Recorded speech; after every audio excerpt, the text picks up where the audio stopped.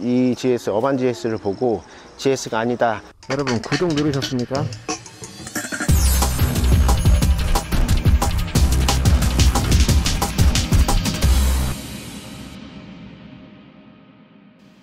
안녕하세요. 유리나무 채널입니다.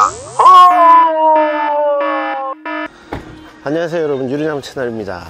새로운 바이크를 소개해 드리려고 왔는데 저도 쉽게 보지 못한 기종이어 가지고 제가 차주분한테 특별히 어, 양해를 구하고 차를 한번 소개시켜 드리려고요. 바로 어반 GS입니다.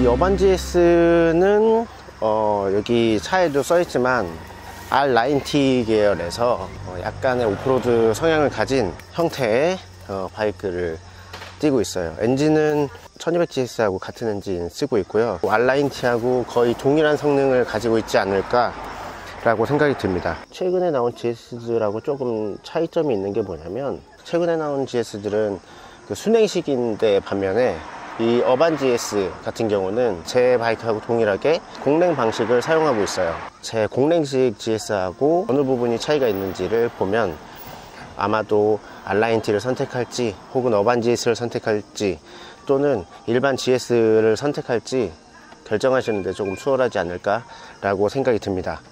일단 차이점을 한 개씩 어, 짚어봐 드릴게요. 일단 휠 같은 경우는 R9T 같은 경우는 스포크 휠 그리고 또 연식이나 스타일에 따라서 alloy 휠을 장착하고 있는데 이 어반 GS는 그냥 GS 어드벤처 휠을 장착하고 있습니다. tubeless 스포크 휠을 띄고 있고요. 앞바퀴는 19인치 뒷바퀴는 17인치. 그냥 GS로 출시되는 바이크들하고 조금 차이점이 뭐냐면 공랭 바이크라 그런지 제 08년식 GS하고 동일한 방식의 구동축 위치 그러니까 승차를 했을 때 오른쪽에 구동축이 갖춰져 있고 머플러도 그의 반대로 제 그 공랭식 바이크와 같이 머플러가 이쪽 방향으로 되어 있어요. 지금 나오는 순행식 어, GS 같은 경우는 이 구동축하고 머플러가 또 반대로 되어 있잖아요. 근데 이 어반 GS 같은 경우 공랭이기 때문에 반대로 되어 있는 것 같고요. 그리고 엔진에서 엔진오일 교체하는 부분은 어, 이렇게 제 공랭식 08년식 GS 같은 경우는 엔진오일 캡이 이쪽에 있는 반면에 이 차량 같은 경우는 아마도 엔진이 개선돼서 이쪽 방향에 엔진오일 주입구가 위치되어 있습니다. 그러니까 공랭 방식을 유지하고 공랭 방식에 대한 그 설계 구조는 그대로 가져가지만 엔진 자체는 신형 엔진을 올렸다고 보시면 될 것 같아요. 아, 그리고 외관상으로 봤을 때 앞부리 GS에 있는 그 특이사항 앞부리 부분이 조금 더 오프로드스러운 이런 어, 휀다가 장착되어 있고요 이 부리 휀다가 있기 때문에 front 휠 휀다는 이쪽에서 좀 잘려 있습니다. 여기에선 더 이상 나오지 않고요.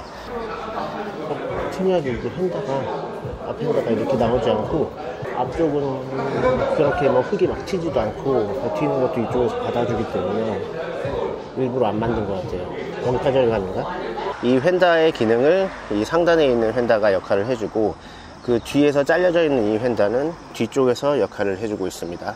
핸들에 대해서는 핸들 댐퍼가 장착되어 있고요. 오프로드에서 핸지, 핸들 털림을 방지하기도 하겠지만 온로드에서 핸들 안정성을 유지해 줄 거라고 생각이 듭니다. 이 오일 쿨러가 전면에 위치하고 있고요. air duct는 튜닝 방식은 아니지만 직접적으로 지금 안쪽으로 보이진 않는데 직접적으로 이렇게 공기가 흡입되는 방식인데 어, 일반 제 GS 같은 경우는 cowl로 덮여 있어 가지고 아무래도 비가 온다든지 이물질이 들어가는 게 조금 취약할 수도 있어서 어, 제 생각에는 이쪽에 뭐 스케, 스타킹 같은 거 해가지고 고무줄로 이렇게 막아주면 공기 흡입은 동일하되 동일하지만 낙엽 같은 거나 벌레, 이물질 이런 것들은 들어오는데 방어를 해줄 수 있을 거라고 생각이 들어요. 브렘보 브레이크, GS 동일하게 BMW 바이크들은 모두 동일하게 이렇게 장착되어 있습니다. 그리고 헤드라이트가 너무 클래식하고 너무 예쁩니다 이게. 옆에서 이렇게 보면은 모자 사람의 모자 헬멧의 그 sun visor 형태를 디자인을 띄고 있어요. 측면으로 보면 이렇게 되죠? 그냥 봐도 이렇게 모양이 그렇게 돼 보여요. 그죠? 그리고 전면 쇼바는 항상 제가 말씀드리지만 저는 바이크를 볼 때 쇼바를 마- 많이 본다고 말씀드렸잖아요 음, GS의 그 front 쇼바 방식이 아닌 중간에 있는 쇼바가 장착되어 있지 않아요 보면은 조금 아쉬운 부분이긴 한데 어, 이거를 그냥 도립식 쇼바로 바꿨으면 승차감에서 조금 더 어, 유리하지 않을까 라고 생각이 드는데 요거는 조금 아쉬운 부분입니다. 험로를 달리는 걸 감안하면은 이 front 쇼바는 조금 850GS처럼 도립식으로 바꾼다든지 그렇게 해줄 수도 있었는데 그냥 1200GS의 일반 쇼바를 장착하고 front 쇼바에서의 그, 그 승차감 그런 것들은 조금 손실이 있을 것 같아요. 그리고 뒷쇼바를 한번 보면 핸들에서 보면 아시겠지만 rear 쇼바는 전자식이 아닙니다. 수동으로 조, 조절할 수 있게 만들어져 있습니다. 그리고 시트는 이렇게 아름다운 빨간색으로 장착되어 있고 이것도 뭐 low seat라든지 뭐 이런 것도 있다고 하는데 제가 이렇게 눌러보면 쿠션이 굉장히 깊어요. 체중 이동이 편하게끔 뭐 flat하게 되어 있고 그래서 승차감이라든지 아니면 조금 어, 멋도 그렇고 그냥 바꾸지 않고 이대로 타는 게 어, 예쁠 거라고 생각이 듭니다. 이게 GS하고 거의 동일한데 어, 카우를 다 벗겨 놓은 형태로 보여지기 때문에 딱히 어떻게 뭐 특이사항을 말씀드리기보다는 GS하고 차이점을 말씀드리고 있으니까 이런 부분에서 조금 어, 디테일하게 보시면 더 좋을 것 같아요. 외국 영상에서 봤는데 구형 GS 같은 그 차로 이거를 카우를 전부 제거해 가지고 어반 GS로 만들기도 하더라고요. 팔고 새로 사는 것보다 돈이 더 많이 들겠죠? 신형이니까 이런 LED 테, 깜빡이 들어있고 그리고 이 너클가드 같은 경우는 어, 순정에는 없다고 합니다. 없는데 사제로 이렇게 장착하셨고요. 핸들 사이즈나 이런 걸로 봤을 때는 일반 GS 순정하고 호환해서 사용할 수 있을 것 같습니다. 그리고 사이드 미러도 제 08년식 GS하고 똑같아요. 신형 미러를 장착해 주지 않았네요.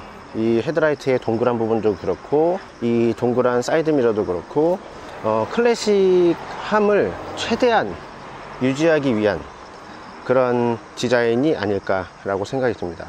어떻게 보면 디자인적으로 굉장히 세련됐다는 게 이런 동그라미, 이런 동그라미, 이런 동그라미들이 모두 잘 어울려서 굉장히 클래식한 이미지를 만들어주고 있습니다. 측면에서 보면은 이 통이 있는데 이 통에 에어 호수 같은 게 들어가요. 근데 이게 뭔지 모르겠습니다. 어, 센서가 들어가는 길도 없고 무슨 에어 그냥 에어 통인데 이게 브레이크와 관련된 어, 성능을 하고 있는 건지 저는 그냥 봤을 때 air shock처럼 조절식 쇼바에 사용되는 그런 에어통이라고 보여지는데 이게 어디로 통과돼서 어떤 기능을 하는지는 조금 착지성을 한번 볼까요? 여기서 이렇게 잘 보일지 모르겠습니다. 이렇게 보면은 다 하고요. GS 같은 경우는 올라가면은 발이 약간 이런 식으로 발끝이 이렇게 닿거든요. 근데 지금 얘 같은 경우는 딱 앉았을 때 앞꿈치가 양쪽이 다 착지가 돼요. 이렇게 되고 굳이 이렇게 어, 발을 이렇게 이런 식으로 만든다든지 할 필요 없이 그냥 앞꿈치가 다 닿기 때문에 상당히 안정적인 높이를 어, 보여주고 있네요. 실제로 이 정도 높이면은 아무래도 심리적인 안정감이 굉장히 크기 때문에 민첩하게 다루는 데는 너무도 수월할 것 같습니다. 포지션도 GS하고 거의 비슷한 포지션이 나오기 때문에 착지성까지도 편하니까 아무래도 높은 GS에 대한 부담이 있으신 분들은 Urban GS를 앉았을 때는 심리적인 굉장히 편안함을 느끼실 수 있을 거라고 생각이 듭니다. 그리고 앞브레이크는 지금 신형 같은 경우 어떻게 나오는지 모르겠지만 나사식이 아니고 이런 가열식 음, 조절식 레바가 장착되어 있고요. 이쪽에 있는 조절 이런 그 컨트롤 전체적인 컨트롤 버튼 이런 것들은 스타트, 스톱 그리고 열선 버튼도 옛날부터 사용했던 뭐 800R, 800GT 이런 것들에서 사용하던 그런 디자인들 보면은 ABS는 껐다 켰다 할 수 있고 어, 일반 GS하고 다른 점이 이런 거라고 생각이 듭니다. 뭐 일단은 뭐 traction 컨트롤 같은 경우도 사실상 어, 필요 없다고 생각하고 있는 것 같아요. 뭐 임도를 간다거나 하게 되면 어차피 안 쓰는 기능들이기 때문에 다 꺼버리고 타잖아요. 그래서 그거는 traction 같은 경우는 필요 없다고 생각한 것 같고 자 이렇게 해가지고 Urban GS 소개를 했는데요.